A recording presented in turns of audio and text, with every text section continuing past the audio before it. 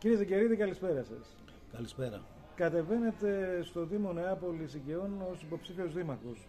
Πώς και γιατί λάβατε αυτή την απόφαση; Αυτή την απόφαση την ε, έλαβα μετά από θα έλεγα ένα κλίμα ασυνεννοησίας αλλά και έλλειψη δημοκρατικών διαδικασιών που υπήρχαν ε, στη Δημοτική Παράταξη του Σίμου του Δανιλίδη και γενικά αυτό το πλαίσιο το οποίο είχε διαμορφωθεί ήταν εκτός συμφωνίας που είχαμε κάνει.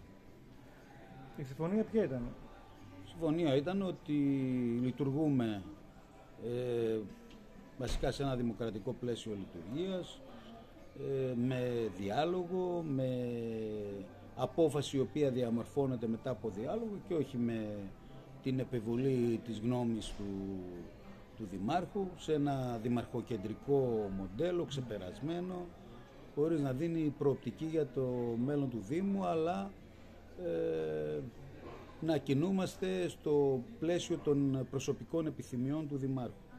Μάλιστα.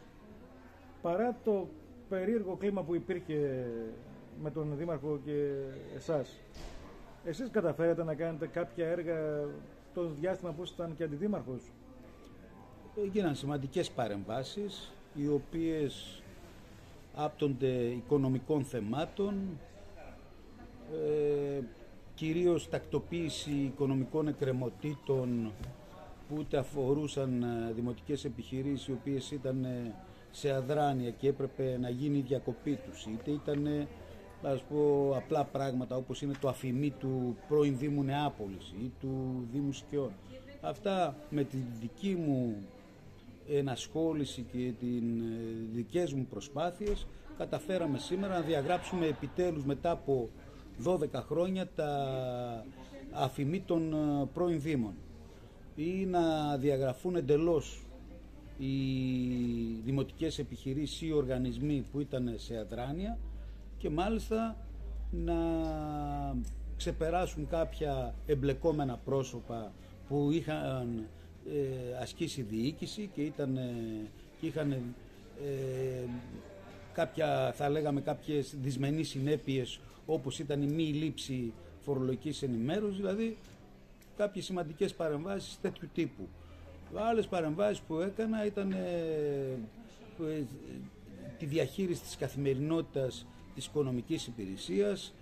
Ε, πολλές φορές με δικές μου παρεμβάσεις ξεπερνούσαμε προβλήματα της διαγωνιστικής διαδικασίας είτε των διαγωνισμών είτε άλλων θεμάτων αλλά πέρα από την την ε, λειτουργία, την εύρυθμη της οικονομικής υπηρεσίας. Υπήρχαν και σημαντικές παρεμβάσεις που έκανα μέσα στην κοινωνία, σαν τοπικός αντιδήμαρχος. Ε, ε, είναι στη συνείδηση του κόσμου ότι, ότι ήμουν ένας αντιδήμαρχος αλλά και σαν δημοτικός σύμβουλος ότι ήμουν παντού και δίπλα στον πολίτη. Αυτό κανένας δεν μπορεί να το πάρει και σαν αντίληψη η οποία έχει περάσει στην κοινωνία ότι είμαι πάντα δίπλα στον πολίτη.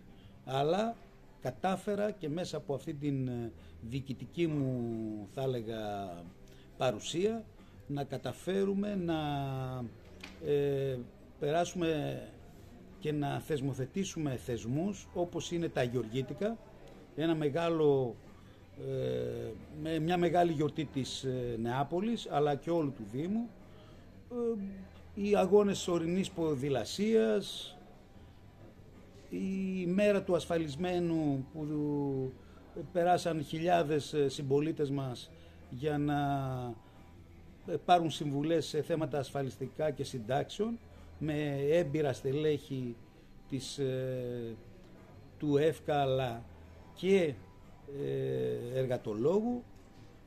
Και να μην απαριθμίσω παρεμβάσεις οι οποίες έκανα και σε πολύ υψηλό επίπεδο όπως ήταν το θέμα των μη ηλεκτροδοτούμενων που απασχολούσε χιλιάδες ε, ε, πολίτες και πετύχαμε την απαλλαγή με τον νόμο ε, 4.555 στο άρθρο 222-223 τώρα δεν θυμάμαι επακριβώς το άρθρο ε, που δόθηκε μια διετής απαλλαγή για τους ε, κατόχους ακινήτων που δεν είχαν ρεύμα και πληρώνανε αδίκως δημοτικά τέλη. Να πω την προσπάθειά μου για μείωση του δημοτικού φόρου που ε, στις οικές έσπαγε ρεκόρ το 0,70, ήταν πανελλήνιο ρεκόρ και οδηγήσαμε με τις δικές μου προσπάθειες 0,70 και στο πρόγραμμα της παράταξής μου μιλάμε πλέον και για άλλη μείωση που αυτός ο δημοτικός φόρος θα πάει στα 0,25 που θα είναι ε, στα δεδομένα τελικά και των υπολείπων δήμων. Κάποιος θα πει ότι τάζεται μειώσεις, ε, αλλά αν πραγματοποιηθούν αυτές θα υπάρξουν άλλα προβλήματα. Θα υπάρξουν άλλα προβλήματα Όχι, δεν θα υπάρξουν γιατί ό,τι λέμε είναι κοστολογημένο. Δεν έχουμε πάει στην ε, στήρα αντιπολιτευτική στρατηγική, αλλά σε μια πολιτική ε, η οποία θα είναι εφαρμόσιμη, κοστολογήσιμη, γιατί το ξέρουμε το αντικείμενο, είμαστε ε, είμαι ορκωτός λογιστής με τεράστια εμπειρία και στους ελέγχους των Δήμων αλλά και η διοικητική μου παρουσία ως αντιδήμαρχος οικονομικών με το στίγμα που άφησα και το αποτύπωμα ε, υποδηλώνει ότι μπορούμε να πετύχουμε περισσότερα χωρίς όμως κινδύνους ε, θα λέγαμε δημοσιονομικούς στο δημοτικό προϋπολογισμό. Μάλιστα. Ε, σας έχω πετύχει και εγώ ίδιος προσωπικά ως Δημότης Νεάπολης γιατί και εγώ κείμενο ε, κάποιες ε, στιγμές να φροντίζετε ζαρδινιέρες, ε, δέντρα, ε, φυτά και μάλιστα μόνος σας και με γυμνά χέρια πολλές φορές αντιλαμβανόμενος το πρόβλημα που έχουν. Και παράλληλα, από ό,τι γνωρίζω και βλέπω και στο βιογραφικό σας, είστε και πρόεδρος του Συλλόγου Φίλης Τρεμπενιώτη Νεάπολης. Πιστεύετε ότι η Νεάπολη έχει ανάγκη από περισσότερο πράσινο, από περισσότερες δομές που θα προσφέρουν ε, φύση στον κόσμο και όχι τσιμέντο; Όπως το καινούργιο πάρκο της Νεάπολης που το είδαμε, αλλά σφίζει τσιμέντο έτσι. Πρέπει να πάμε σε μια, αυτό που λέω, σε μια πράσινη επανάσταση, να διοχετεύσουμε, εγώ θα έλεγα, δεν ξέρω αν είναι δόκιμος όρος, το πράσινο παντού, με μικρές σημειακές παρεμβάσεις, με το τμήμα πρασίνου να αποτελεί εγώ θα έλεγα από τις σημαντικές ε, υπηρεσίες του Δήμου ε, δεν είναι μόνο η Νεάπολη. Πλέον ο Δήμος είναι ο Δήμος Νεάπολης Σκαιών, περιλαμβάνει ε, και την Ευαγγελίστρια, τον Άγιο Παύλο και τα Πεύκα.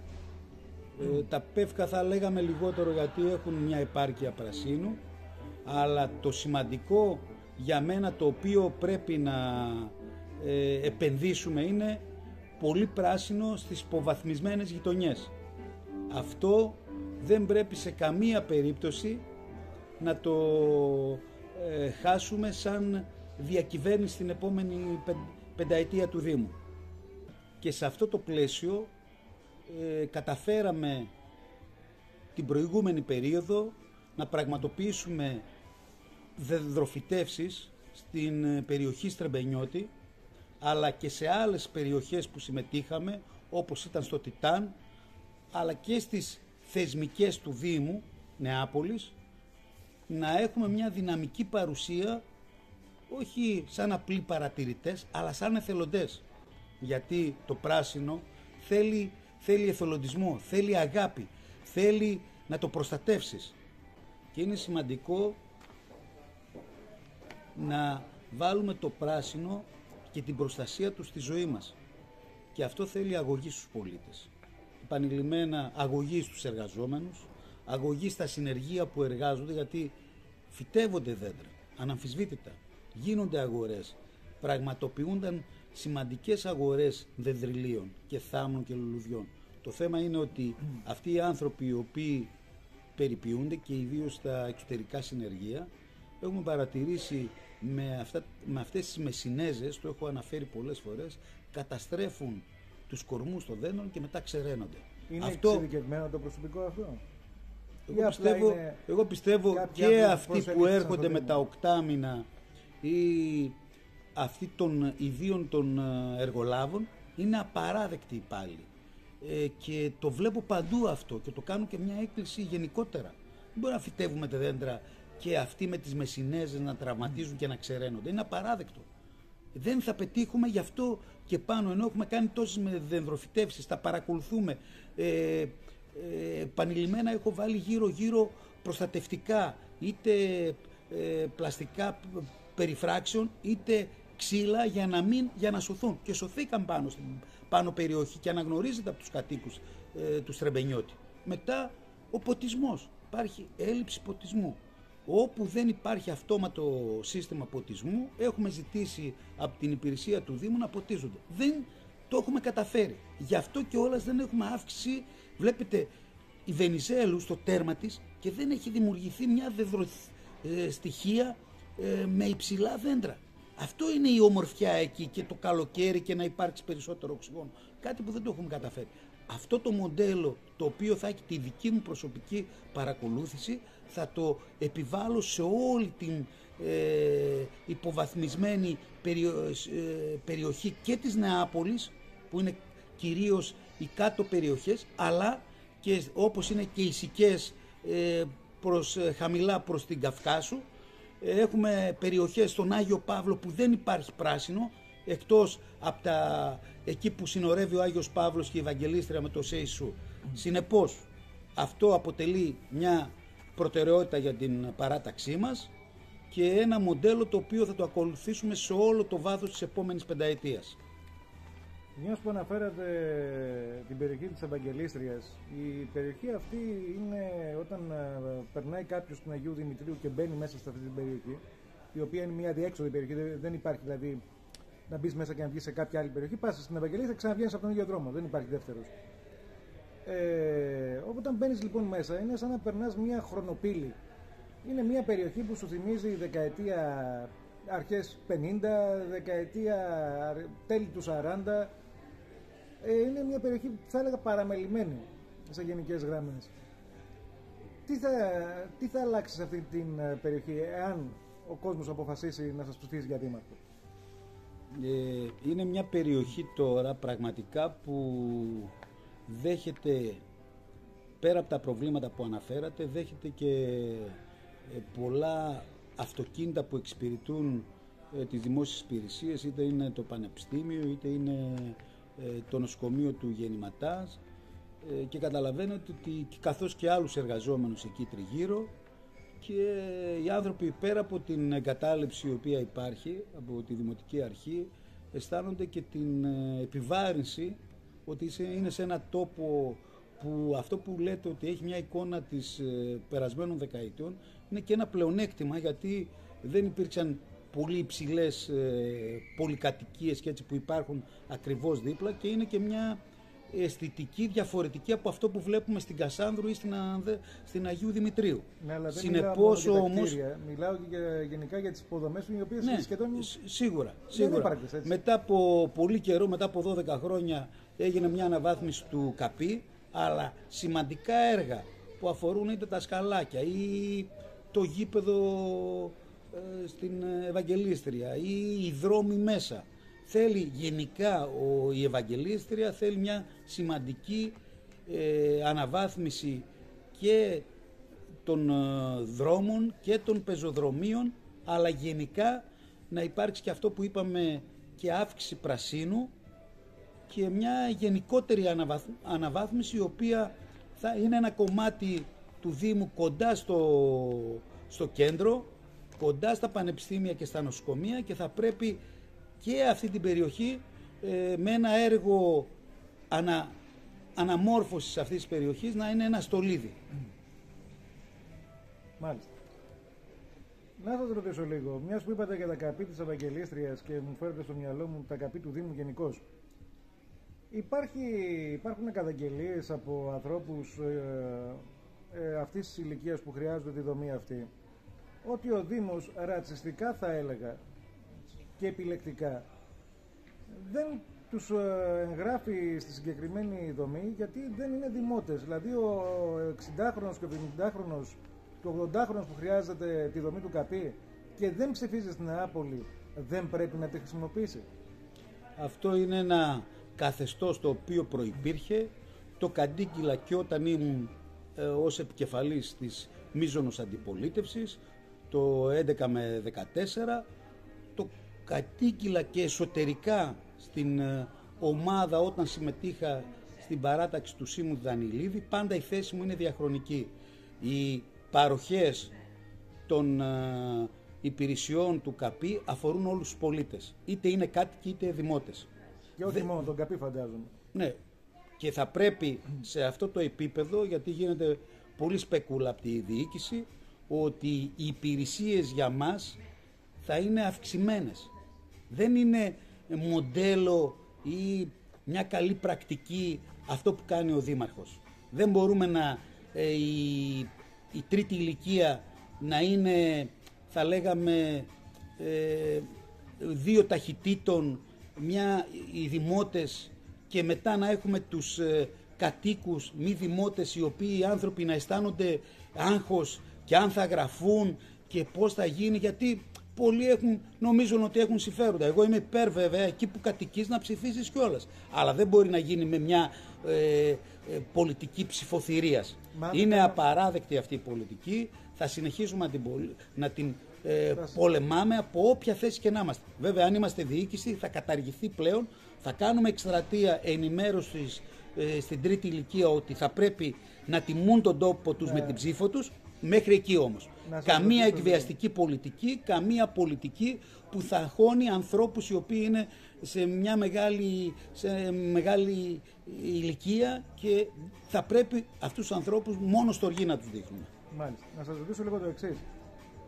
Για να γραφτεί κάποιος δημότης σε ένα δήμο, στο Δήμο Νέαπολης Οικαιών, θα πρέπει να μένει κάποιος συγκεκριμένο χρονικό διάστημα. Ναι, θα πρέπει να υπάρχει διετής παραμονή. Διετής παραμονή. Δηλαδή, ένας 60χρονο, 70χρονο που χρειάζεται το καπί και μόλις ήρθε στην Νεάπολη, θα πρέπει να περιμένει δύο χρόνια ώστε να μεταφέρει τα δικαιώματά του στην Νεάπολη για Όχι, να χρησιμοποιήσει. Αυτό θα λέμε. εξυπηρετηθεί στο τέλος, αλλά ε, περνάει ένα ψυχολογικό ε, τεστ και μια θα λέγαμε ένα ψυχολογικό ταλαιπωρία. Ε, μια ψυχολογική ταλαιπωρία ε, αγχολητικής ε, διάστασης η οποία πραγματικά καταλαβαίνετε πώς αισθάνονται αυτοί οι γέροι και πολλές φορές δεν αντιλαμβάνονται ακριβώς γιατί όταν θες να περάσεις κάτι παράνομο δεν είσαι και ξεκάθαρος οπότε ταλαιπωρούνται ψυχολογικά είναι θα έλεγα μια βάναυση ε, πολιτική, εκβιαστική και μάλιστα εγώ εάν συνεχιστεί το έχω πει ότι αυτό το θέμα θα το οδηγήσω στον εισαγγελέα.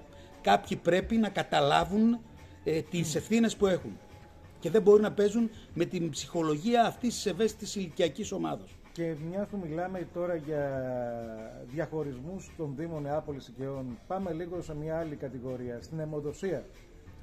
Κατά καιρούς βλέπαμε την διαφήμιση του Δήμου Νεάπολης Οικαιών να παίζει σε όλη τη χώρα στα μεγάλα κανάλια, χωρίς βέβαια λογοκαιτία, γιατί φαντάζομαι ένας από την Κρήτη δεν θα έρθει να δώσει αίμα στην Νεάπολη. Ε, φυσικά αυτό το κράτος το σταμάτησε με μια διάταξη που επιτρέπει τέτοιες διαφημίσεις να γίνονται μόνο από τοπικά μέσα.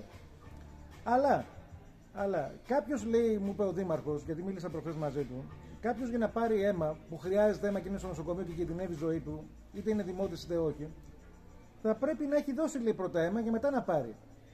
Δηλαδή, ένας άνθρωπος που είναι ανεμικός ή που είναι οροφιλικός ή που είναι οτιδήποτε άλλο και δεν μπορεί να δώσει αίμα και βρίσκεται στο χειρουργείο. Δεν μπορεί να πάρει αίμα από την τράπεζα του Δήμου. Εάν σας είπε αυτό το πράγμα, το οποίο ε, είναι απαράδεκτο, είναι απαράδεκτο, ε, δείχνει τη στρατηγική γενικά που έχει, είναι ένας άνθρωπος ε, των αριθμών, δηλαδή τι θέλουμε να πετύχουμε, να πετύχουμε πρώτους αριθμούς. Δεν είναι οι αριθμοί όμως που δείχνουν μια κοινωνική πολιτική. Κοινωνική πολιτική είναι ότι ο Δήμος της ανθρωπιάς και αλληλεγγύης όπως διατείνεται ο Δήμαρχος θα πρέπει να φαίνεται σε όλες τις διαστάσεις και αυτή η διάσταση που βάζεται ενός πολίτη ο οποίος ήταν στο νοσοκομείο και εμείς του ζητάμε την ε, δημοτολογική του θέση είναι απαράδεκτο. Ε, είναι γενικά το πλαίσιο της, ε, της ανισορροπίας που υπάρχει σε αυτό, της εκβιαστικής πολιτικής η οποία συνεχίζεται. Όχι μόνο την δημοτολογική του θέση, δηλαδή θα πρέπει να είναι δημότης για να πάρει αίμα, αλλά και το γεγονός ότι θα πρέπει να έχει δώσει ήδη αίμα ο ίδιος για να πάρει την μπουκάλα πίσω. Αυτό, δηλαδή... αυτό έχει μια βάση σε ένα βαθμό. Ναι, αλλά και έτσι πρέπει να είναι. Δηλαδή, ένας, που, ένας που είναι εθελοντής αιμοδότης θα πρέπει να ανταμείβεται. Όμως, ε, σε έναν κανονισμό θα έλεγα αιμοδοτικής τράπεζας θα, ε, ξέρουμε ότι πάντα λειτουργεί και για το κοινωνικό σύνολο. Δηλαδή, την ανάγκη του συμπολίτη μας ο οποίος θα βρεθεί στη δύσκολη θέση ε, είτε είναι ανεμικός είτε είναι Ένας για μια εγχείρηση που δεν μπορεί να ναι. δώσει αίμα δεν, θα, δεν θα πάμε να του βάλουμε αυτή τη λογική. Νομίζω αυτή η λογική, εάν την είπε ο Δήμαρχος, δεν υπήρχε αυτή η λογική. Ε, από ό,τι ξέρω εγώ, όποτε έχω ζητήσει, δόθηκε σε... Είναι απαράδεκτη προσέγγιση, εάν αυτό όπως μου το λέτε και δεν το αμφισβητώ, το είπε ο Δήμαρχος. Φαίνεται όμως, ίσως έτσι λειτουργώντας, παραβιάζει πολλές φορές και τα συμφωνημένα. Γιατί έτσι δημιουργεί το κλίμα ψηφοθυρίας που θέλει. Κύριε Ζαγκερίδη, πάμε τώρα σε ένα άλλο εντελώς διαφορετικό κομμάτι που αφορά όμως όλους τους ε, δημότες των περιοχών του Δήμου αλλά παράλληλα πιο πολύ την ε, νέα γενιά, τον αθλητισμό. Υπάρχουν αθλητικές εγκαταστάσεις που θα μπορούσε κάποιος να πει ότι είναι ευρωπαϊκού τύπου στην Νεάπολη, στις οικέ και στους υπόλοιπους, στις υπόλοιπες ενότητες του Δήμου. Αλλά ε, και υπάρχουν ε, και εγκαταστάσεις όπως παραδείγματος χάρη το γήπεδο της Νεάπολης, το στάδιο το οποίο θυμίζει πυραμίδες, μάγες, κερκίδες ε, υπάρχουν κάποια άλλα μίνι αθλητικά πάρκα τα οποία θυμίζουν ε, όταν βρέχει λίμνες ε, που θα μπορούσαν να κάνεις να κολυμπάνε παπάκια μέσα; Το πρόβλημα των αθλητικών εγκαταστάσεων είναι πολύ σημαντικό. Χρειάζεται επαρκή συντήρηση, ετήσια συντήρηση και όχι σε ένα πλαίσιο, θα λέγαμε, ε, ένταξης αυτών των αναγκαίων συντηρήσεων σε προγράμματα του ΕΣΠΑ ή της ε, προγραμμάτων επενδύσεων της κεντρικής διοίκησης. Με αυτόν τον τρόπο δεν συντηρούνται τα γήπεδα στην ώρα τους και έχουμε αυτή την κατάσταση που έχουμε στο γήπεδο Στρεμπενιώτη που το γήπεδο αυτό δεν έχει, δεν έχει περίφραξη. Το ταρτάν επειδή είναι κακής ποιότητας χάλασε πολύ γρήγορα και χρειάζεται αντικατάσταση. Οι κερκίδες απέναντι είχαν ε, παγκάκια τα οποία είναι ξυλωμένα, επικίνδυνα για τους θεατές. Ποιους θεατές, να πού να κάτσει άνθρωπος εκεί; Ναι, όσοι κάθονται, κάθονται όρθιοι και ε, αυτό που έχουμε ζητήσει εδώ και καιρό είναι ότι οι ακάλυπτοι χώροι θα μπορούν να μπουν να αναβαθμιστούν και να γίνουν κάποιες παρεμβάσεις ε, ε, σημειακές πρασίνου αλλά και να μπουν και όργανα υπαίθρια.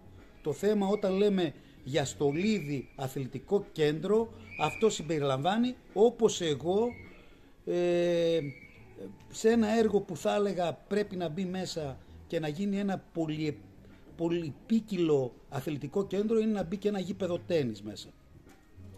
Που δεν υπάρχει στο Δήμο ολόκληρο, έτσι. Ναι. Αν εξαιρέσουμε πιο πάνω που είναι της ε, Γενικής Γραμματείας. Μιλάμε για δημοτική. Ναι, όχι, δεν υπάρχει. Δεν υπάρχει.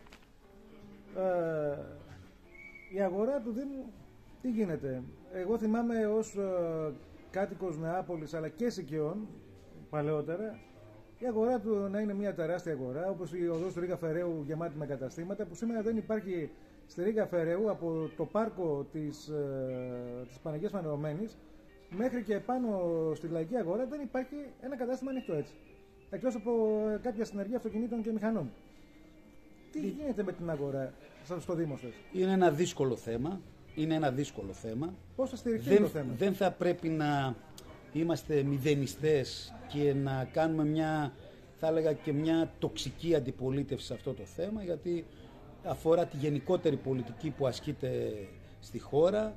Βλέπετε ότι έχουν κλείσει πάρα πολλά μαγαζιά, υπάρχει μια στροφή ε, σε αυτά τα καφέ τα οποία είναι άμεσης ε, παράδοσης καφέ κλπ. Ε, και έχουν φύγει ουσιαστικά μαγαζιά, δηλαδή παλιά μαγαζιά όπως και τα παραδοσιακά καφενεία. Βλέπω ότι πλέον στη Νεάπολη, στις Ικές ε, δεν υπάρχουν πλέον. Αλλά βέβαια η αγορά για να τονωθεί θέλει και μια ε, παρέμβαση, θέλει μια αισθητική αναβάθμιση των περιοχών. Δεν βλέπω το όραμα το οποίο θα εμπνεύσει και θα δημιουργήσει χώρους οι οποίοι θα είναι και επισκέψιμοι και από άλλες περιοχές. Θα σας πω ένα παράδειγμα. Τα βυζαντινά τείχη που ο Δήμαρχος πολλές φορές έχει πει ότι αποτελούν μια ιστορική παρακαταθήκη για τον Δήμο. Μπορώ να το έχει, να παραφράζω πώς θα... Δεν έχουμε δει όμως να έχει πάρει τις ε, πρωτοβουλίες οι οποίες πρέπει να ληφθούν για ένα τέτοιο σημαντικό θέμα μαζί με το Δήμο Θεσσαλονίκης και να είναι ένα ε, έργο υπερτοπικής σημασίας γιατί τα τείχη πραγματικά αφορούν την ιστορία της Θεσσαλονίκης. Αφορούν τη μεσαιωνική πλευρά της ιστορίας της Θεσσαλονίκης γιατί η Θεσσαλονίκη έχει και μια τείχη. Έχει, ε, την, ε, έχει μια ιστορική συνέχεια από την αρχαία εποχή μέχρι σήμερα. Και αυτό ε, είναι μια μεγάλη υπόθεση και παρακατευθήκη για όλοι μας. Και πρέπει να σεβαστούμε αυτό το πράγμα, κάτι που δεν έγινε από την ιστορική αναδρομή της, ε, του σεβασμού των αρχαιολογικών μνημείων. Κύριε η αγορά πώς θα στηριχθεί; Η αγορά γενικά είναι ένα θέμα γενικότερης πολιτικής. Πιστεύω ότι πέρα από την πρωτοβουλία που μπορεί να πάρει η Δημοτική Αρχή, χρειάζονται και συνολικές ε, παρεμβάσεις και μέτρα από την κεντρική διοίκηση, από την κυβέρνηση και γενικότερα εγώ νομίζω ότι πλέον ε, ε, μαζί με τα μέτρα τα οποία πρέπει να ληφθούν από την κυβέρνηση θα πρέπει και η διοίκηση όμως του Δήμου να δώσει θα λέγαμε ε, την προσοχή της να αναβαθμίσει τους χώρους δρόμους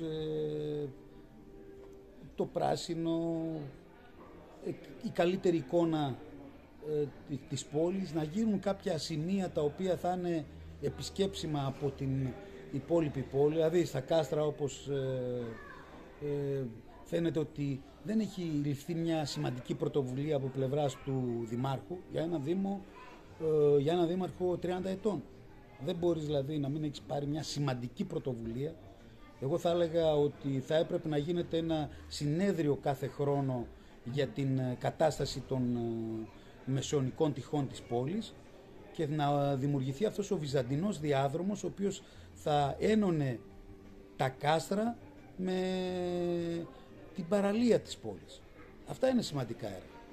Και αυτά για να γίνουν χρειάζεται τη συνεργασία του Δήμου Νεάπολης Οικαιών και του Δήμου Θεσσαλονίκης. Εγώ δεν ξέρω να ανατρέξουμε και στο Google ας πούμε, που καταγράφει μεγάλες ε, πρωτοβουλίες δεν ξέρω αν θα βρούμε μία πρωτοβουλία να έχει πάρει ανάληψη ο Δήμαρχος ε, της, ε, της Νεάπολης Κιών, ο Σίμος Δανιλίδης. Εδώ υπάρχει ένα τεράστιο έλλειμμα. Για μας θα είναι από, τα, από τις πρώτες πρωτοβουλίες που θα πάρουμε για να πάρει μια εθνική διάσταση ένα τέτοιο θέμα για να γίνει αυτός ο βυζαντινός διάδρομος, για να αποκτήσει την επισκεψιμότητα που πρέπει να έχουν τα τείχη. Σας λέω μία πρωτοβουλία. Μετά έχω προτείνει ε, για την Νεάπολη δύο παραδοσιακούς οικισμούς οι οποίοι θα δημιουργηθούν και θα ε, δημιουργηθεί μια άλλη εικόνα των, ε, αυτών των πολυκατοικιών το οποίο δεν κοσμούν την αισθητική των πόλεων. Και να σας πω και κάτι γιατί πολλές λένε αν ε, αυτά μπορείτε να τα πετύχετε, αν μπορείτε να τα κάνετε. Ναι βεβαίως μπορούμε να κάνουμε.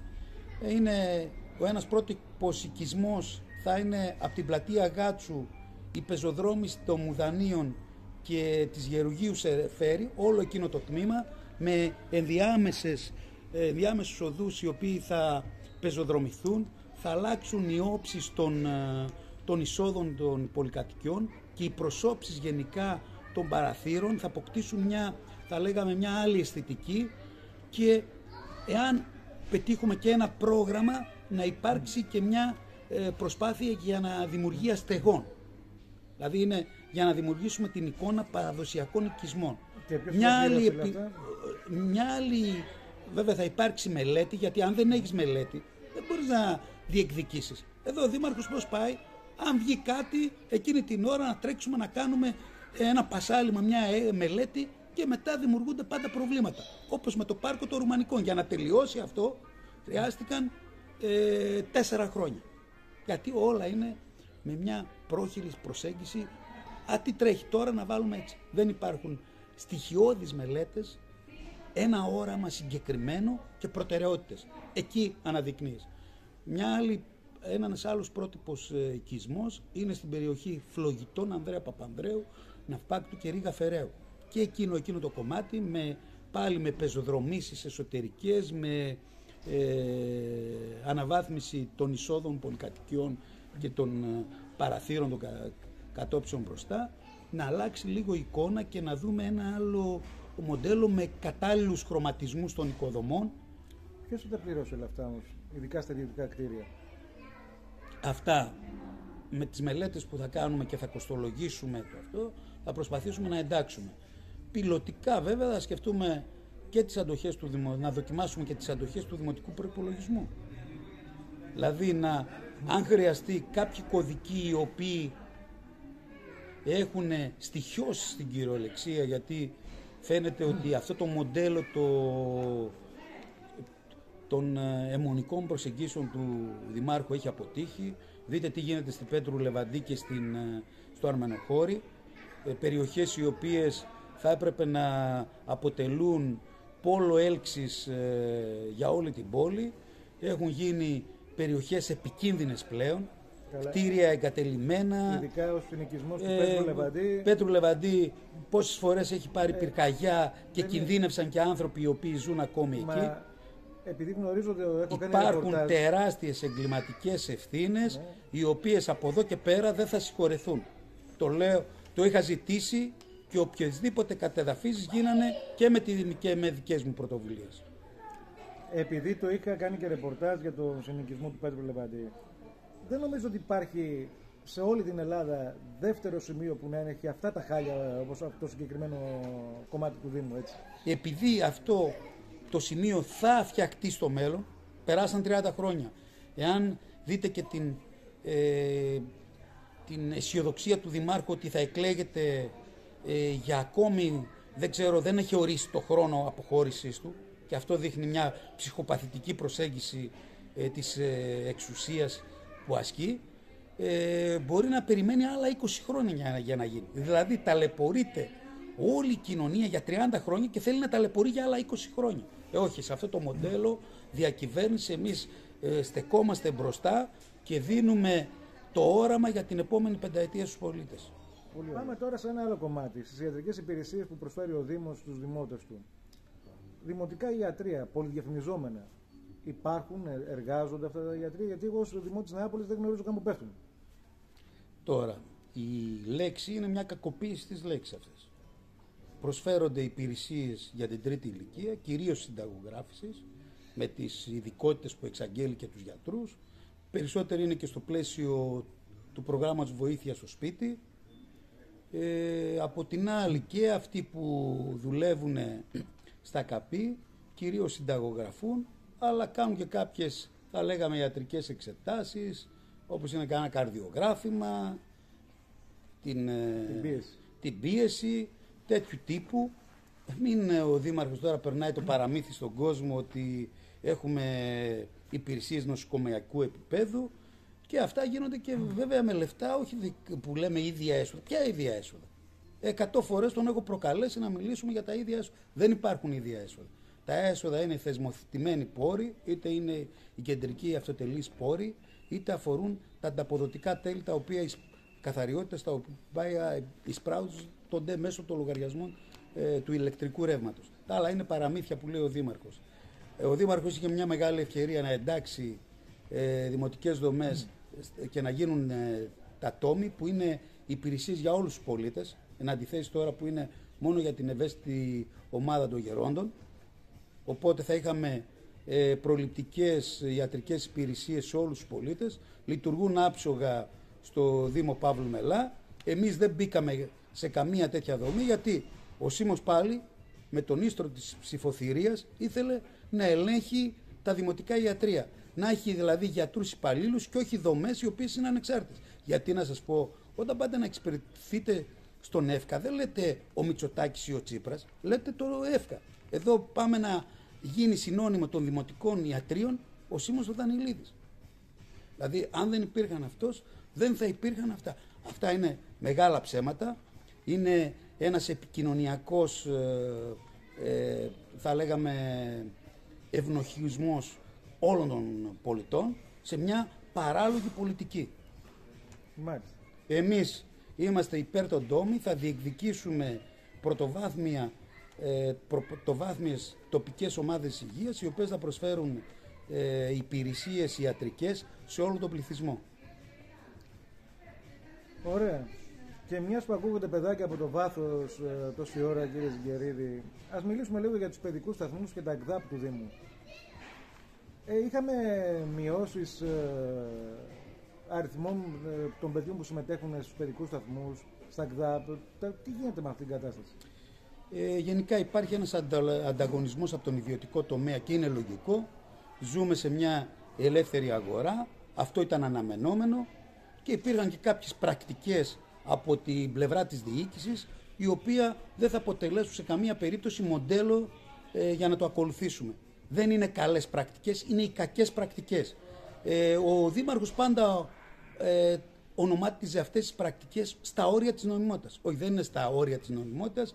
Για αυτές εδώ τις πρακτικές του Δημάρχου ήδη υπάρχουν ε, καταγγελίες όπως είχα κάνει εγώ στο παρελθόν για, θα λέγαμε, για χειραγώγηση του προγράμματος που γινότανε είτε με τοποθέτηση ατόμων που ενώ δηλωνόντουσαν στο σύστημα σε διαφορετικό παιδικό σταθμό πηγαίναν σε άλλον, ε, ονόματα τα οποία δεν ερχόντουσαν στα κέντρα δημιουργικής απασχόλησης και υπέγραφαν απλώς για να εισπράττονται τα λεφτά και γενικά ε, μη νόμιμες ε, είχα βάλει το θέμα των αδειοδοτήσεων αυτών των δομών αν είναι νόμιμες. Αποδείχθηκε τελικά και μάλιστα είναι θέμα ε, που θα απασχολήσει τις δικαστικές αίθουσες ότι υπήρχαν, να μην πω αποδεικτικά και τεκμήρια, να πω φερόμενα έγγραφα τα οποία ε, εμφανίζονται ως πλαστά.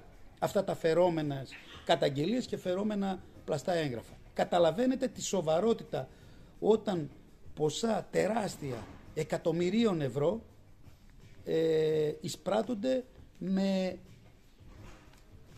δομές οι οποίες πραγματικά δεν είναι νόμιμες. Μάλιστα. Και θα δούμε βέβαια την εξέλιξη ε, σε αυτό το φαύλο κύκλο των αναβολών. Γιατί είναι ένα θέμα η ελληνική δικαιοσύνη και πόσο γρήγορα απομνέμεται. Το δικαστήριο αυτών των υποθέσεων πήγε το 2024. Εμείς σε κάθε περίπτωση, επειδή έχουμε και μείωση παιδιών, αλλά έχουμε και μια πολιτική απέναντι στους εργαζόμενους των ε, Κέντρο Δημιουργικής Απασχόλησης, οι οποίοι ενώ ήταν σε μια ομοιρία τόσα χρόνια και ήταν με, την, ε, με τον πληθωρισμό των λόγων του Δημάρχου ότι είναι εξασφαλισμένες οι θέσεις και όλα αυτά τα παραμύθια αποδεικνύεται με τις μειώσεις που έγινε ε, σε αυτό το σύνολο του προσωπικού που δουλεύει που είναι αρκετοί άνθρωποι, είναι γύρω στα 300 άτομα την αβεβαιότητα που έχει δημιουργήσει αυτούς τους εργαζόμενους.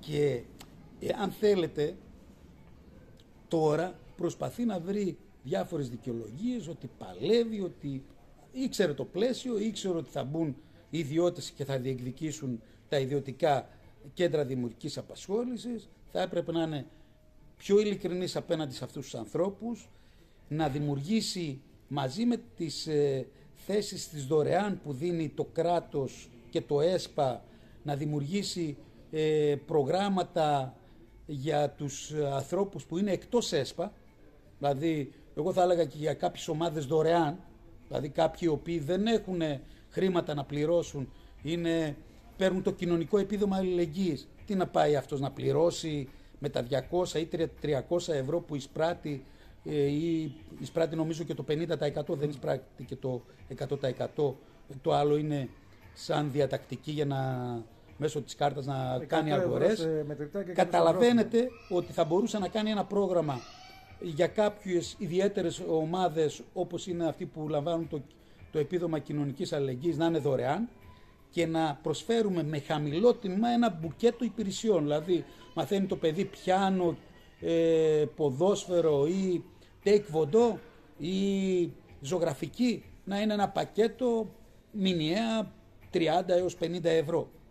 Δηλαδή να προσφέρουμε υπηρεσίες τελικά μαζί με τις δωρεάν θέσεις του ΕΣΠΑ. Αυτό ποτέ δεν μπήκε σε αυτή τη λογική γιατί είχαμε την ασφάλεια του παρελθόντος μιας, ε, ε, θα λέγαμε, δεν υπήρχε ανταγωνισμός από ιδιωτικά ΚΔΑΠ και είχαμε το σύνολο των θέσεων και με αυτά τα φερόμενα πλαστά έγγραφα τα οποία έχουν οδηγήσει τη διοίκηση στις δικαστικές αίθουσες. Μάλιστα.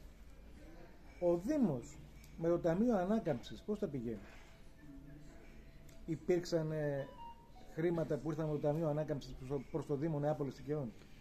Ε, ακόμη, δείτε, ακόμη είναι σε μια... Δεν υπάρχει στην ουσία σημαντικά έργα, αν εξαιρέσουμε ε, το έργο της, ε, της Επταπηργίου, το οποίο ανακοινώθηκε, είχε προβλήματα βέβαια ο διαγωνισμός, που είναι ένα μεγάλο έργο, αλλά αυτό δείχνει και ε, θα λέγαμε το έργο του Δημάρχου. Δηλαδή, μετά από 30 χρόνια θα ξεκινήσει η Επταπηργίου. Και μάλιστα με λεφτά τώρα που έρχονται από τη χώρα σε μια περίοδος, θα λέγαμε, κανονικότητας που έχει μπει η χώρα. Καταλαβαίνετε έναν δήμαρχο ο οποίος 30 χρόνια είχε την Επταπηργίου σε αυτή την άθλια κατάσταση. Σε μια τριτοκοσμική κατάσταση. Σε πεζοδρόμια ανισόπεδα, ε, με λακκούβες ε, πολλές φορές, με πολίτες να έχουν πέσει, να έχουν σπάσει χέρια και να διατείνεται ότι είναι ένα πρότυπο Δήμου. Όχι, για μας είναι ένας, ε, αυτές οι πρακτικές διοίκησης και αντιμετώπισης των προβλημάτων αποτελούν ένα παράδειγμα προς αποφυγή, όπως παράδειγμα προς αποφυγή είναι η εικόνα ενός δημαρχείου ή το υποθηκοφυλάκιο που μισθώνουμε στο κτηματολόγιο και το οποίο δεν έχουν πρόσβαση ε, τα άτομα με αναπηρία. Εν έτη 2023 και σας το λέω γιατί έχω μια ιδιαίτερη ευαισθησία. Η οικογένειά μου, το σόι μου τέλος πάντων να το πω απλά έχει άτομα με αναπηρία πάρα πολλά και είμαστε ιδιαίτερα ευαίσθητοι και ντρέπομαι πραγματικά. Και ήταν κάτι που το έλεγα ότι δεν κοστίζει ρε παιδιά και δείχνει και ένα άλλο επίπεδο ότι ο Δήμος της ανθρωπιάς και αλληλεγγύης πραγματικά ενδιαφέρεται για αυτούς τους ανθρώπους. Όχι να έχουμε τα κέντρα δημιουργικής απασχόλησης, να εισπράττουμε τα ποσά, τα αρκετά χρήματα του ΕΣΠΑ και να λέμε ότι κάνουμε πολιτική. Το θέμα είναι να κάνεις πολιτική με δικά σου χρήματα από το Δημοτικό Ταμείο όπως διατείνεται ο Δήμαρχος και να φαίνεται αυτό. Δεν μπορεί τώρα δύο σοβαρά ε, ε, κτίρια του Δήμου να μην έχουν πρόσβαση για τους ΑΜΕΑ. Είναι ντροπή. Μάλιστα. Να σας ρωτήσω λίγο και κάτι τελευταίο πριν περάσουμε στη τελική ερώτηση. Λοιπόν, μιας που αναφέρατε τον όρο αναπηρία, πεζοδρόμια ελεύθερα από αυτοκίνητα υπάρχουν στην Νέα να μπορεί να περάσει ένας ανάπηρος; Γιατί το θέμα του πάρκινγκ είναι κάτι εξαιρετικά δύσκολο, ειδικά στην οδό Λαγκαδά που αναγκάζει ο κόσμο να, να περπατάει κυριολεκτικά στο ρεύμα κυκλοφορίας στην οδό Λαγκαδά γιατί δεν μπορεί να ανέβει στο πεζοδρόμιο με το παρκαρισμένο αυτοκίνητο. Τι γίνεται με αυτή την κατάσταση; Και γιατί ο Δήμος Νεάπολης τόσα χρόνια δεν έχει δημοτική αστυνομία, ενώ πριν είχε. Ε, η δημοτική αστυνομία, να ξεκινήσω από το τελευταίο που είπατε, καταργήθηκε ε, επί μνημονιακής διακυβέρνησης τότε ε, Σαμαρά Βενιζέλους σε εκείνη την περίοδο. Μετά δόθηκε, νομίζω επί ΣΥΡΙΖΑ τώρα, δεν ξέρω αν ε, κάνω κάτι λάθος, νομίζω επί ΣΥΡΙΖΑ ήταν, δόθηκε η δυνατότητα επανασύστασης. Ήρθαν λίγα άτομα, επέστρεψαν από την παλιά δημοτική αστυνομία. Εγώ νομίζω ότι αυτά τα άτομα έπρεπε να συγκροτήσουν τη δημοτική αστυνομία και με κάποιους τρόπους, ε, έστω και ε, με, κάποια συμπληρωματική, με κάποιες συμπληρωματικές θέσεις να υπήρχε μια υποτυπώδης λειτουργία της Δημοτικής Αστυνομίας η οποία σήμερα θα μπορούσε με ένα πρόγραμμα, με ένα πρόγραμμα ε, προσλήψεων ε, να, γιατί υπάρχει, ε, δόθηκε η δυνατότητα να γίνονται οι προσλήψεις που απαιτούνται και να στελεχωθεί επαρκώς. Το θέμα το ότι δεν προχωρήσαμε στην επανασύσταση της Δημοτικής Αστυνομίας, έστω και με μια ε, υποστελέχωση, ε, νομίζω ότι έχει αποτελέσματα και βλέπουμε ότι δεν υπάρχει τάξη, ε, βλέπουμε διπλοπρακαρίσματα, τριπλοπρακαρίσματα, άτομα, αυτοκίνητα να μπαρκάρουν σε χώρους διάβασης των, των ΑΜΕΑ. Είναι μια εικόνα που δεν μας θυμάει εμείς. Πρέπει και οι πολίτες να αισθάνονται ε, ότι υπάρχουν όργανα τα οποία θα τους ελέγξουν και μάλιστα εγώ θα έλεγα και πολλές φορές προτρεπτικά γιατί οι δημοτικοί αστυνόμοι πολλές φορές γνωρίζανε τους παραβάτες και δεν ήταν να εισπραχθεί το πρόστιμο σώνη και καλά, είχαν και ένα εκπαιδευτικό χαρακτήρα ε, αγωγής του πολίτη, στο να μην έχει μια παραβατική συμπεριφορά. Αλλά και κατά ανάγκη θα επιβληθούν και πρόστιμα και θα πάρουν και κάποια έσοδα τα οποία... Ναι, αλλά ας πάμε και στην άλλη μεριά τώρα. Εγώ είμαι οδηγός του αυτοκινήτου που παρκάρω επάνω στο καινούργιο πάρκο της Νεάπολης που χρησιμοποιώ για πάρκινγκ. Πού να πάμε να παρκάρω αφού δεν υπάρχουν θέσεις; Εδώ θα λέγαμε ότι θα έπρεπε να γίνει μια πρόβλεψη και να υπάρξει μια μελέτη γιατί λέμε ότι ο Σίμος ο Δανιλίδης ε, παρουσίασε θα λέγαμε ένα ε, ξεπερασμένο πρόγραμμα την, την προηγούμενη δεκαετία δηλαδή ανέλαβε έναν καλλικρατικό δήμο χωρίς να έχει πρόγραμμα γι' αυτό. Είναι ο εμπνευστής αυτού του, του χωροταξικού τερατουργήματος που έγινε με τον Καλλικράτη. Παραβιάστηκαν οι αρχές του Καλλικράτη που υπήρξαν στην Αττική, δηλαδή π.χ. δήμοι με πληθυσμό πάνω από 25.000 μείναν αυτόνομοι, οπότε η Νεάπολη έπρεπε να είναι μόνη της και να, αν ακολουθόταν το μοντέλο της Αττικής, δυστυχώς εδώ με παρεμβάσεις, εγώ να πω τότε ε, Βενιζέλου, της πτέρυγας Βενιζέλου και ε, Σίμου Δανιλίδη, οδηγηθήκαμε σε αυτό το χωροταξικό τερατούργημα, το οποίο δημιούργησε δυσλειτουργίες, αλλά δεν ήταν και έτοιμος. Δηλαδή, ο άνθρωπος με ψέματα και με επικοινωνία δεν μπορείς να κάνεις πολιτική. Δεν είχε καμία μελέτη για κανένα σημαντικό έργο. Όπως το πάρκο των Ρουμανικών ε, έγινε, έγινε μια ε, ένταξη στο ΕΣΠΑ η οποία έγινε μια μελέτη της τελευταίας στιγμής. Δεν υπάρχουν, τα έχω τονίσει κιόλας ε, με αναρτήσει μου, δεν, υπάρχουν, ε, δεν υπάρχει το αναψυκτήριο, δεν υπάρχει ε, μια τεράστια παιδική χαρά που ζητήσαμε γιατί η μεγάλη παιδική χαρά μαζεύει τον κόσμο. Ε, από το απλό θα σας πω ότι υπήρχε ένας περιστερώνας που ήταν μέρος του πάρκου, τον πήραν από εκείνη τη θέση, τον πήγαν απέναντι εντελώς λαθασμένα. Δεν υπάρχουν πουλιά πλέον μέσα Είχαν, και περιστέρια, έχουν φύγει όλα. Επίσης δηλαδή, δεν υπάρχει πάρκο για τους φιλόζωους, έτσι. Ε, ίσως να υπήρχε και μια γωνιά, να είναι και μια γωνιά εκεί και να ε, βρούμε τους φιλόζωους της περιοχής και να τους πούμε ότι εδώ έρχεστε, εδώ καονίστε, αφού έτσι κι αλλιώς... Μα θα ήταν και πιο ωραία τα πράγματα αν υπήρχε ένα περιφραγμένο κομμάτι ως σκυλοπάρκο λέμε τώρα, γιατί ο φιλόζωος θα ξέρει ότι εκεί θα πάει το ζώο του να κάνει την ανάγκη του. Τώρα την κάνεις σε όλο το πάρκο. Και δυστυχώς το βλέπω κιόλας και Επίσης, αυτό είναι ένα άσχημο. Πούμε... Γιατί έχουν αφήσει δίθεν ανοιχτό το πάρκο, πηγαίνουν τα δεσποζόμενα ζώα ή και τα αδέσποτα, αν και δεν έχει αδέσποτα εκεί η περιοχή, ε, και καταλαβαίνεις, στο χώρο που παίζει ένα μωρό πηγαίνει και το ζώο και κάνει. Εγώ, αν ε, δεν ξέρω, ε, αν ήταν μια προηγούμενη συνέντευξη που είχαμε δώσει, είχα πει ότι πρέπει να υπάρχει ένας ξεχωριστός χώρος για τους φιλόσοφους, ε, μια γωνιά, δεν θέλει τεράστια γωνιά και μάλιστα να ήταν και λίγο έτσι όμορφα κλεισμένη για να μην χαλάει και η αισθητική του πάρκου. Δυστυχώς πήγαμε σε μια αποθέωση της αρχιτεκτονικής παρέμβασης και όχι της λειτουργικής παρέμβασης. Μάλιστα. Κύριε Ζεγερίδη, τώρα για να κλείσουμε θέλω να μου πείτε τρία έργα που θα κάνετε, που έχετε σκοπό να κάνετε ως δήμαρχος, εάν ο λαός αποφασίσει να σας εκλέξει, τα οποία θα κάνει τον κόσμο του Δήμου να σας θυμάται μετά από 50 χρόνια.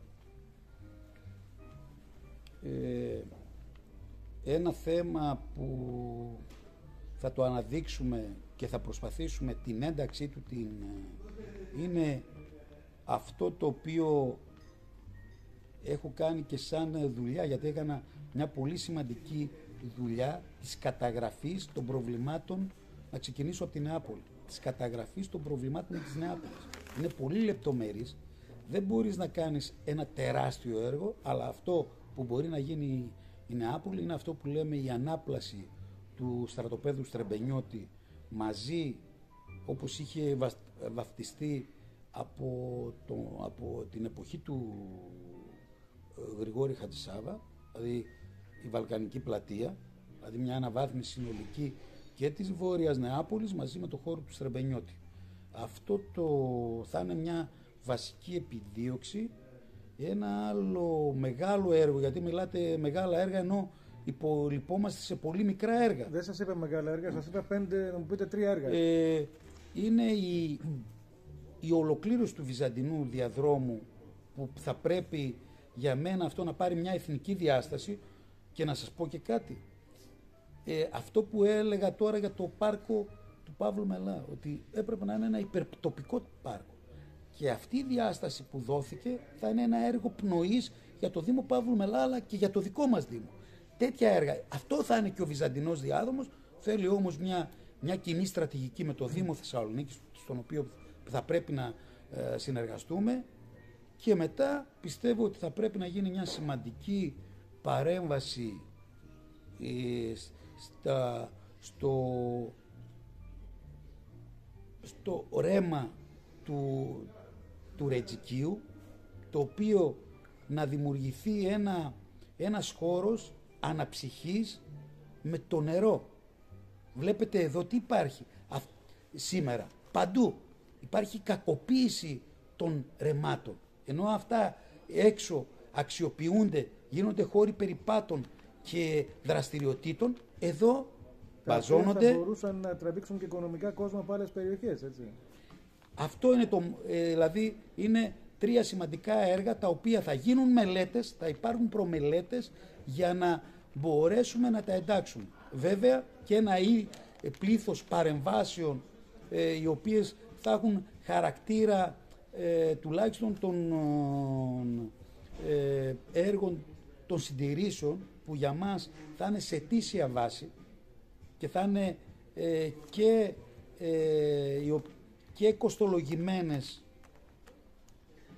αλλά και ε, σε πολύ καλό επίπεδο για να έχουμε κτίρια τα οποία αξίζουν τους πολίτες. Και όχι τώρα να αναδεικνύουμε ένα θέμα ε, του γηπέδου και να μου λένε ότι ε, αυτό που είπατε γήπεδο με λίμνες, ε, γήπεδο με λακκούβες όπως είναι του γηπέδου των Πεύκων και να λέμε ότι έχουν ενταχθεί στο πρόγραμμα. Δηλαδή τώρα για να πετάξεις την μπάλα στην κερκίδα λες το, η στέγη του πρώτου πέμπτου δημοτικού σχολείου στάζει νερά, δεν το βρήκαμε, θα γίνει μετά. Πότε, α, ναι, θα γίνει το πρώτο πέμπτο δημοτικό σχολείο, πότε; Ε, να έχουμε προβλήματα με, την, ε, με το κράτος, με την κυβέρνηση. Είμαστε σοβαροί αυτό. Είναι, προς, είναι προσεγγίσεις σοβαρές, δηλαδή στάζει, στάζουν στις τάξεις, στους διαδρόμους, ε, στο γυμναστήριο και εσύ λες ότι θα επιλύσει το πρόβλημα όταν θα γίνει το νέο σχολείο. Και δεν θέλω να επεκταθώ, ε, υπάρχει μεγάλο εύρος ε, του προγράμματός μας, ήδη κάποιους βασικούς άξονες αλλά και θέματα που θα ασχοληθούμε, θα τα αναδείξουμε στην ε, ιδρυτική διακήρυξη της Τετάρτης.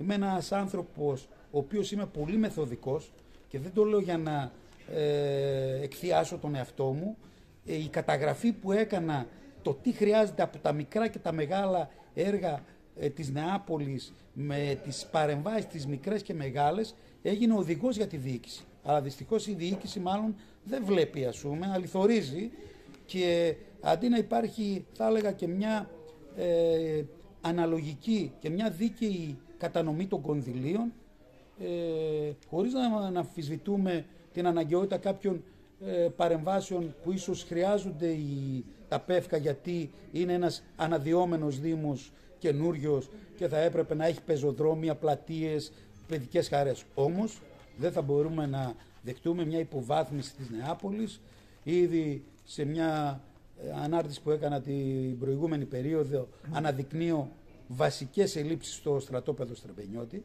Δεν μπορεί το στρατόπεδο Στρεμπενιώτη να έχει τη λογική ε, ότι ε, θα, θα γίνει περίφραξη ενός γηπέδου που είναι κόσμημα για την Νεάπολη και για όλο το Δήμο ε, στην επόμενη πενταετία. Είναι ντροπή. Όταν αυτό το γήπεδο ήταν περιφραγμένο.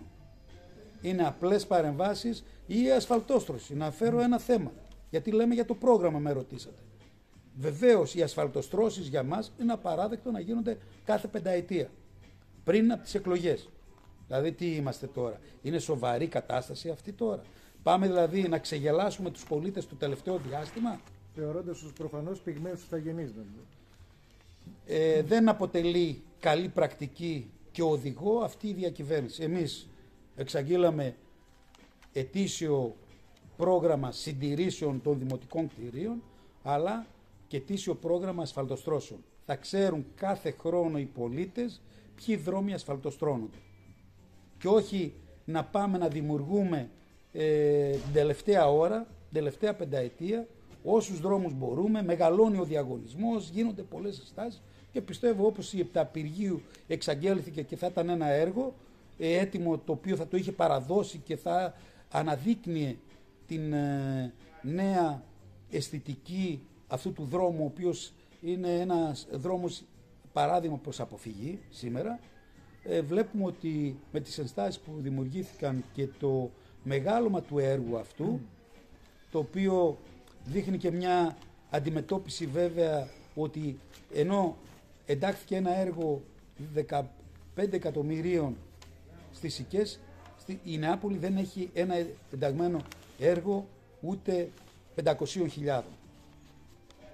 Αυτό εμείς θέλουμε να στυλιτεύσουμε, ούτε λέμε ότι δεν υπήρχε αναγκαιότητα αυτού του έργου ε, στις οικές. Όμως θα πρέπει κάποτε ο Δήμαρχος, αφού πιστεύει λέει στην αντίληψη του ενιαίου Δήμου, να υπάρχει αυτό που λέω εγώ προϋπολογισμός ανά εκλογική ε, δημοτική ενότητα. Αυτό θα το εισάγουμε για να δώσουμε και ένα μεγαλύτερο ε, ε, χαρακτήρα συμμετοχής στα τοπικά συμβούλια τα οποία είναι διακοσμητικά όργανα. Μάλλον στα εγώ θα το πω κιόλας χωρίς να υποτιμήσω, ας μου το συγχωρέσουν οι συνάδελφοι των τοπικών συμβουλίων γιατί τους θεωρώ συνάδελφους και πιστεύω στη συμμετοχική ε, δημοκρατία και σε έναν ε, συμμετοχικό προϋπολογισμό είτε είναι κοινωνικός είτε είναι οικονομικός και σε αυτή την κατεύθυνση εμείς τους θέλουμε συμμετοχούς. Όχι ένας περιφερόμενος θείασος εκδηλώσεων. Δηλαδή πάνε στις πρώτες θέσεις και δηλώνουν την παρουσία τους. Εμείς θέλουμε συμμετοχικούς και να έχει ουσία η παρουσία μας. Η ιδρυτική σας διακήρυξη είπατε είναι την Τετάρτη; Τετάρτη 7 η ώρα στο... 1η Μαρτίου. Ναι, 1η Μαρτίου στο, στο Δημοτικό Θέατρο το κλειστό στο Δημαρχείο Νεάπολης. Περιμένουμε τους πολίτες για να παρουσιάσουμε τις βασικές θέσεις, ε, προτάσεις και τις προγραμματικές μας δεσμεύσεις, γιατί είπαμε ότι όλα θα είναι κοστολογήσιμα και όχι παραμύθια και υποσχέσεις οι οποίες είναι ανεκπλήρωτες. Ε, σε αυτό το πλαίσιο περιμένουμε τους πολίτες να έρθουν να ενισχύσουν την προσπάθειά μας και να θέσουν και προβλήματα σημαντικά ε, σε αυτά που θα ε, διατυπώσουμε κατά την ιδρυτική διακήρυξη. Κύριε Τζιγκερίδη, σας ευχαριστούμε πάρα πολύ για την συνέντευξη. Καλή επιτυχία σας ευχόμαστε. Και εγώ σας ευχαριστώ για τη φιλοξενία στο τόσο δημοφιλές μέσον που έχετε. Ευχαριστούμε πολύ.